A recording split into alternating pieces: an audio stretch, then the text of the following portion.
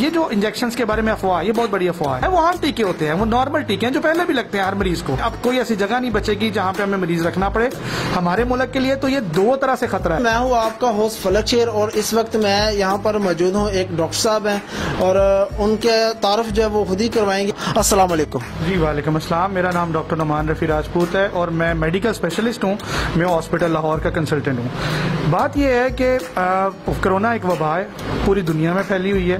It's a pandemic, ये हर continent में, हर जो है, इस टाइम बर सगीर में है। मसला ये है कि हमारे मुल्क में जहलीत इतनी ज़्यादा बढ़ चुकी है और आवाम उस बात को समझने के लिए तैयार नहीं है कि ये एक सीरियस इशू है इस टाइम का। हमारे गवर्नमेंट हॉस्पिटल इस टाइम तकरीबन तकरीबन नब्बे से पचानवे फ़ीसद ऐसे मरीजों के साथ ऑलरेडी भर चुके हैं। जो प्राइवेट हॉस्पिटल्स का आपने सवाल किया है, देखें, उनकी कैपेसिटी इतनी नहीं है कि वो इतने सीरियस और इतने क्रिटिकल पेशेंट्स को वो मैनेज कर सकें, क्योंकि स्टाफ एचआर और अच्छे स्पेशलिस्ट डॉक्टर्स का होना हर जगह पे पॉसिबल नहीं है।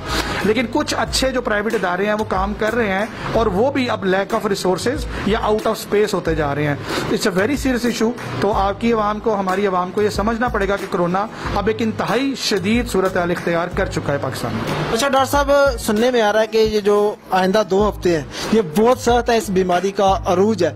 और ये जो प्राइवेट हॉस्पिटल है ये तो मरीज़ को नहीं एडमिट कर रहे इसके हवाले से आप क्या कहते हैं? जी बीमारी तो बहुत तेज़ी के साथ ग्राफ बढ़ रहा है और पाकिस्तान इस टाइम दुनिया में नंबर छह पे आ चुका है इन्फेक्शियस रेट की वजह से। और हमारी आबादी चूँकि बहुत ज़्यादा है तो इसलिए डब्ल्यू का बड़ा कंसर्न है। अगर इतनी बड़ी आबादी के मुल्क में इस स्पीड से ये फैलेगा तो ये दुनिया के लिए भी खतरा हो सकता है। हमारे मुल्क के लिए तो ये दो तरह से खतरा है। नंबर वन एक इंसानी जानों का रिहा हो सकता है, खुदा ना खास्ता। दूसरा, खुदा ना खास्ता, हमारी इकोनॉमी बहुत खराब है। अगर हमारी इकोनॉमी पे इतनी ज़्यादा बर्डन पड़ता है तो हमारे लिए बहुत मुश्किल होगा। तो काइंडली मैं रिक्वेस्ट इस बात पे करूँगा आवाम से कि खुदा के लिए अपने एस पे अमल करें डिज़ीज़ का ब्रेक डाउन करें। डिज़ीज़ के ब्रेक डाउन के लिए ग्राफ के ब्रेक डाउन के लिए ज़रूरी है कि जो पेशेंट ऑलरेडी हो चुके हैं वो ट्रांसफ़र ना करें बीमारी अपने आगे को। और उसके लिए ज़रूरी है कि हम मुनासिब फासला रखें सोशल डिस्टेंसिंग को लाजमी रखें एस पे अमल करें।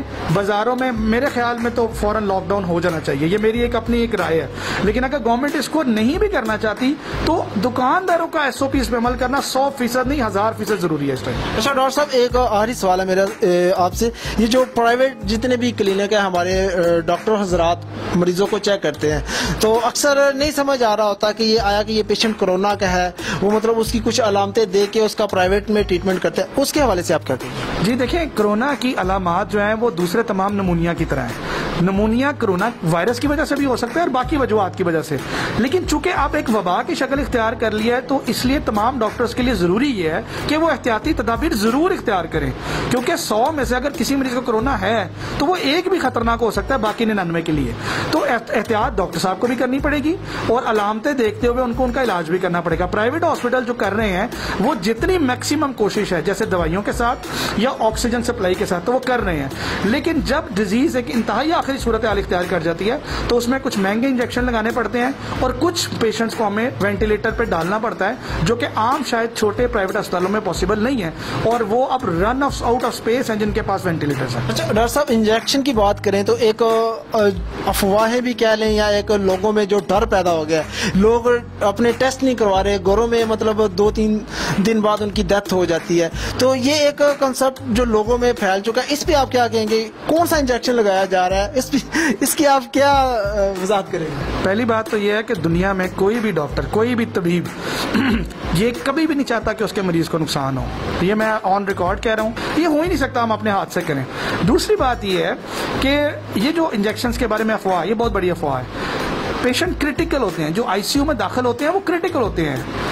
उनमें अगर कोई बीमारी है या कोई मसला है और वो सीरियसली होके सिक होके फौत हो गए हैं, उस दौरान अगर किसी ने उन्हें कोई टीका लगते देखा है, वो आम टीके होते हैं, वो नॉर्मल टीके हैं, जो पहले भी लगते हैं हर मरीज़ को। उससे फिर हमारे अटेंडेंट अग्रेसिव हो जाते हैं, गुस्से में आ जाते हैं। मेरा आपसे एक सवाल है। मैं आवाम से भी ये सवाल करूँगा कि कोरोना का चौंतीस हज़ार मरीज़ पाकिस्तान में रिकवर होके, छुट्टी लेके घरों को जा चुका है, जिनमें आप जैसे गाजी मौजूद हैं। तो मुझे बताएँ कि आपको टीका क्यों नहीं लगाया गया? बिल्कुल, मुझे तो एक दिन भी इंजेक्शन नहीं लगाया गया।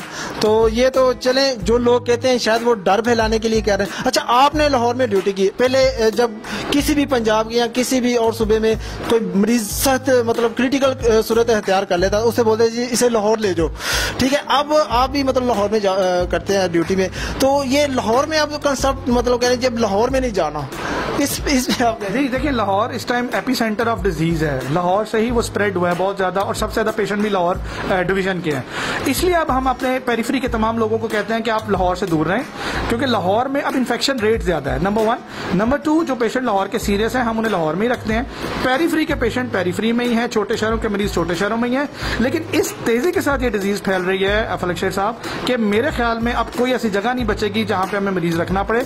खुदा ना करे, खुदा ना करे कि हम कोई उस सूरत हाल में गुजरे जैसे अमरीका या ब्राज़ील में सूरत हाल हुई है। जी, बहुत शुक्रिया। ये थे हमारे साथ डॉक्टर नुमान रफ़ी साहब, जो कि हमें कोरोना वायरस के हवाले से जो लोगों में भी एक सवाल थे, जो अफवाहें थी, उसकी भी तरदीद की उन्होंने और मौजूदा जो सूरत है अभी पाकिस्तान में।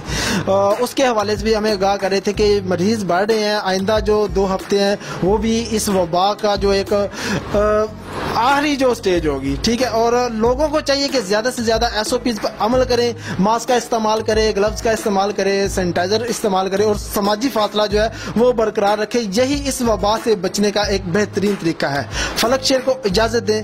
अल्लाह हाफिज।